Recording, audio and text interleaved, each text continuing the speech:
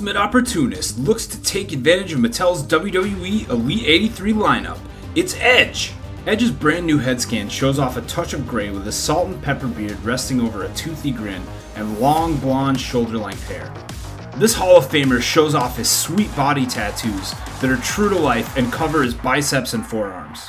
A set of painted on burgundy and black tape wraps around his wrist while he has matching adjustable pads to protect his elbow. Edge steps between the ropes, decked out in gray tights decorated with an updated rated R logo and a new logo showing off his name against a flaming background, and a skull with the horns gesture capping off the design.